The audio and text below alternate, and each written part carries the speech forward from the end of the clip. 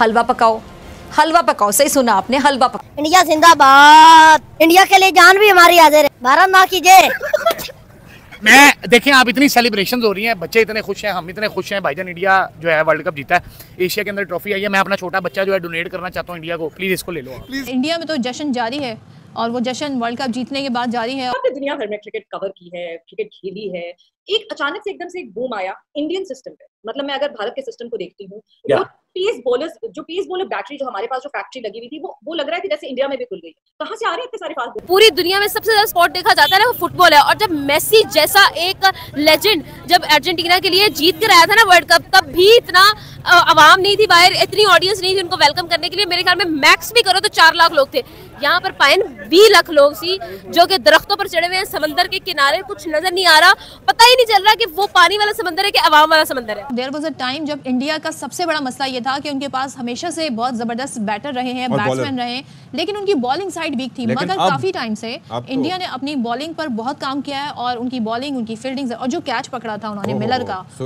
Miller तो अभी तक उसको एक्सेप्ट नहीं कर पा रहे हैं। उनका कल भी मैं एक ट्वीट देख रही थी जिसमें वो कह रहे थे हमने बड़ी एफर्ट की लेकिन बड़ा हमें अफसोस है कि हम ये मैच नहीं जीत सके। तो साउथ अफ्रीका के लिए वैसे मेरा बड़ा दिल दुखा था बड़ा दिल दुखा था but they are the one to blame सब अब चले हम खेलें और एशिया कप भी खेलें वर्ल्ड कप भी खेलें मगर खेलते तो इसलिए ना कि जीते और हमारी कोई परफॉर्मेंस हो लेकिन जो इस वक्त हमारी स्टैंडिंग है जो हमारी टीम जहाँ पे खड़ी है तो बिल्कुल एक कंप्लीट कोलैप्स हम देख रहे हैं जो कि एक अनबिलीवेबल सी सिचुएशन है। दोस्तों नमस्कार। कल सेलिब्रेशन के सारे रिकॉर्ड टूट गए हैं। कल 35 लाख लोग मुंबई की सड़कों पर थे और ये अब तक की हिस्ट्री का एक रिकॉर्ड बन गया है कि इतने लोग किसी इवेंट में आए हो। इससे पहले का नौ लाख लोगों का रिकॉर्ड है जब अर्जेंटीना फीफा वर्ल्ड कप जीतकर आए थे और मेसी के लिए नौ लाख लोग रोड पर उतरे हुए थे। और कल तो बिल्कुल रिकॉर्ड ही तोड़ दिया भारत के लोगों ने। पैंतीस लाख लोग एक साथ सड़कों पर चक्का जाम कर दिया बिल्कुल। इंडियन टीम की बस ने अपनी परेड नरीमन पॉइंट से स्टार्ट की थी और वहाँ से वानखेड़े की दूरी है दो किलोमीटर, यानी कि दो किलोमीटर दूरी तय करने के लिए इंडियन टीम को कम से कम दो घंटे लग गए। लोग पेड़ों पर चढ़कर इंडियन टीम की फ़ोटो ले रहे थे। यानी कि इतना उत्साह लोगों में मैंने आज तक पहले कभी नहीं देखा, जितना कल देखा। तेरह साल पहले जब हम जीते थे वर्ल्ड कप इंडिया में, तब भी इतना उत्साह नहीं था जितना कल था। कल तो मतलब लोगों ने हद ही कर दी। इतने रिकॉर्ड तोड़े हैं। अब मुझे लग रहा है कि ये रिकॉर्ड गिनीज बुक में जाने वाला है, क्योंकि पैंतीस लाख लोग बहुत ज़्यादा होते हैं, वो भी एक शहर दोस्तों इतना बड़ा सेलिब्रेशन देखने के बाद पाकिस्तानी मीडिया के हाल बिगड़े वो कह रहे हैं कि हमने अपनी लाइफ में इतना बड़ा इवेंट कभी नहीं देखा क्योंकि कल वानखेड़े स्टेडियम पूरा फुल भरा हुआ था और सबने मिलकर वंदे मातरम गाया लोगों के साथ। विराट कोहली हार्दिक पांड्या रोहित शर्मा ने सबने डांस किया कल। यानी कल तो एक अलग ही माहौल था। इंडिया में तो जश्न जारी है। और वो जश्न वर्ल्ड कप जीतने के बाद जारी है और जिस तरीके से विराट ने इस टूर्नामेंट में अपने लास्ट मैच में परफॉर्मेंस क्या दे के उन्होंने फिर जी जिस तरीके से उन्हें सी ऑफ़ दिया गया जिस तरह से उन्होंने अपने रिटायरमेंट का इंटरनेशनल टी ट्वेंटी क्रिकेट से ऐलान किया सो लोगों ने इस चीज़ को अप्रिशिएट भी किया। यूजुअली ये होता है कि जब आप अच्छा परफॉर्म कर देते हैं तो उसमें लोग ये कहते हैं यार इतनी जल्दी क्यों रिटायरमेंट ले लिया अभी तो उसने और खेलना था।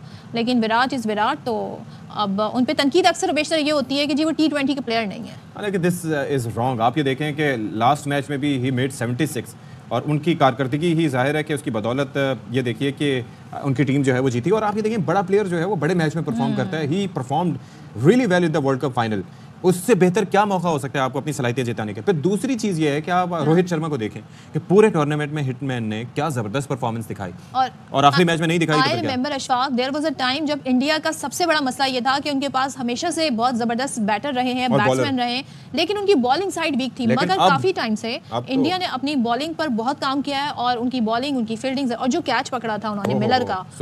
मिलर तो अभी तक उसको एक्सेप्ट नहीं कर पा रहे हैं। उनका कल भी मैं एक ट्वीट देख रही थी जिसमें वो कह रहे थे हमने बड़ी एफर्ट की लेकिन बड़ा हमें अफसोस है कि हम ये मैच नहीं जीत सके। तो साउथ अफ्रीका के लिए वैसे मेरा बड़ा दिल दुखा था बड़ा दिल दुखा था but they are the one to blame मुझे इंडिया शिफ्ट कर दो यार ऐसा करो। मैं इंडिया जाके इंडिया के मैचेस देखूँ। जय हिंद जय माता। भारत माँ की जय। ना सिर्फ़ हिस्ट्री का बल्कि फ्यूचर का भी सौ सालों का रिकॉर्ड इंडिया ने ब्रेक कर दिया है। ऐसा ग्रैंड वेलकम आप नहीं देखेंगे ना ही आपके बच्चे देखेंगे। मैं पूरी इंडिया को मुबारकबाद देती हूँ। अर्जेंटीना जब मैच जीती थी वर्ल्ड कप फाइनल वहाँ पे दो ढाई लाख बंदा था और आवाम समझ रही थी कि दुनिया की सबसे बड़ी सेलिब्रेशन है। इंडिया के लिए जान भी हमारी हाजिर है। आज आप देखो कि इंडिया जब गया अपने वतन वापस इतने लोग अपने वतन से भी प्यार करते हैं अपने प्लेयरों से इतना प्यार करते हैं वहाँ पे कोई बीस पच्चीस लाख बंदा खड़ा था। मानते हो? ये पाकिस्तानी पाकिस्तान से बीस पच्चीस लाख बंदा इंतज़ार कर रहे थे आज जुतियाँ मारन। इंडिया जिंदाबाद। अस्सलाम वालेकुम। भाई साहब। आज पूरा मुंबई झूम उठा है जो इंडिया ट्रॉफी लेके उनके सड़कों में निकला है तो। ओए होए होए होए भाई झूम बराबर झूम बराबर हो गया। मैं तो कहता हूँ मुंबई सिटी के जो पुलिस वाले थे ना उन लोगों ने भी अपने एक्स के ऊपर ना ट्वीट कर दिया था कि भाई थोड़ा संभल के रहना पानी में ना कूद जाना।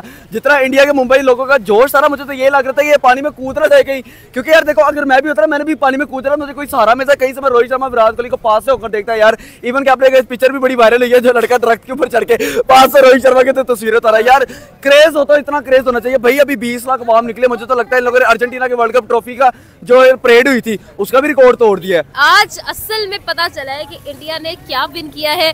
जो जीत, जो ट्रॉफी इंडिया ने बारबदोस में उठाई थी, वो जब इंडिया में लैंड हुई है, उसकी वैल्यू उस दिन पता चली है। मैं हैरान हूँ, मैं परेशान हूँ, मैं मतलब मतलब यहाँ से वैसे दिमाग मेरा कट के ऐसे ऊपर को चला गया कि क्या हुआ है। वाओ मतलब ये ठीक है, हम लोगों ने माना, इंडिया जीत के आया है, ठीक है, लेकिन क्या यार ये लोग वैल्यू कर रहे हैं?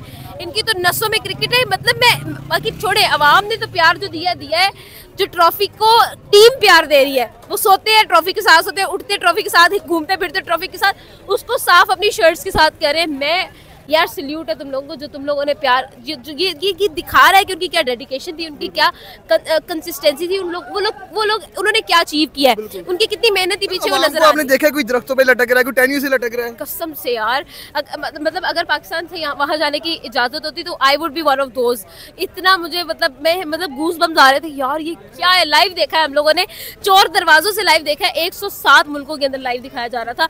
और मैं कहती हूँ कि ना सिर्फ़ हिस्ट्री का बल्कि फ्यूचर का भी सौ सालों का रिकॉर्ड इंडिया ने ब्रेक कर दिया है।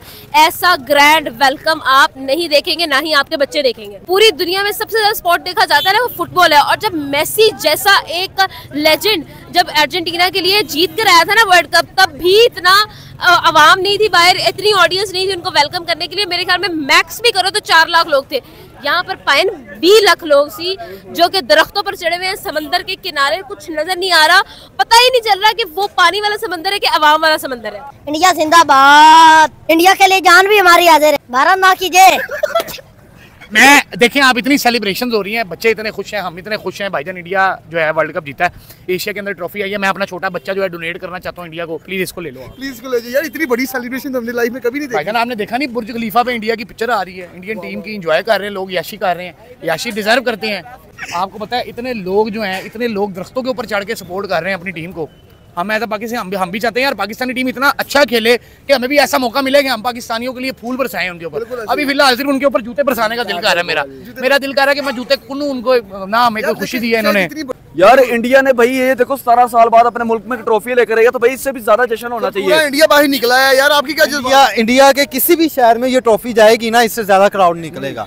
और ये आप लिखवा लें। यार उन्हें इतना दुख क्या कहते हैं ये नहीं इतना गम ये नहीं है कि विराट कोहली और रोहित शर्मा ने रिटायरमेंट ले लिया उन्हें मेन खुशी ये है कि यार विराट कोहली की वजह से यार टी ट्वेंटी वर्ल्ड कप वो जीत कर आए वो भी अपने विराट स्कोर ना करता तो शायद जश्न भाई विराट कोहली छोड़ो और सूर्य कुमार यादव अगर कैच ना पकड़ता तो ये मैच नहीं इंडिया के नाम होना था। भाई वाकई सही किसी ने कहा था कि भाई कैचेस विन मैचेस यही हसन अली ने कैच पकड़ा था तो आज पाकिस्तान भी ये जश्न मना रहा था। देखिए सूर्य कुमार यादव ने जो कैच पकड़ा था उसी वजह से इंडिया आज सेलिब्रेट कर रही है। यही हसन अली ने भी कैच पकड़ा होता ना तो आज पाकिस्तान भी जश्न मना रहा। सब अब चले हम खेलें और एशिया कप भी खेलें वर्ल्ड कप भी खेलें मगर खेलते तो इसलिए है ना कि जीते और हमारी कोई परफॉर्मेंस हो लेकिन जो इस वक्त हमारी स्टैंडिंग है जो हमारी टीम जहाँ पे खड़ी है तो बिल्कुल एक कंप्लीट कोलैप्स हम देख रहे हैं जो कि एक अनबिलीवेबल सी सिचुएशन है। बात कर रहे हैं हम एशिया कप की हम बात कर रहे हैं इंडिया को हराएँ हम वर्ल्ड कप को हराएँ इन टूर्नामेंट में तो खेलने जा रहे हैं इसलिए कि हम कोई परफॉर्म करें लेकिन हमारा तो हाल बहुत ही बुरा है। मैं चाहता हूँ कि आईसीसी वाले इसमें स्टेप इन करें। देखिए ये जो ऑस्ट्रेलिया है एक बहुत बड़ी एक एक क्रिकेट फोर्स है, उनका बोर्ड स्ट्रांग है इंग्लैंड का बोर्ड स्ट्रांग है, वो भी बहुत बड़ी एक एक फोर्स है। वो जो है, जब वो साइड स्टेप करके और ये तमाशा देखना शुरू कर देते हैं तो फिर वाकई आईसीसी भी लगती है जैसे टूथलेस बॉडी होगी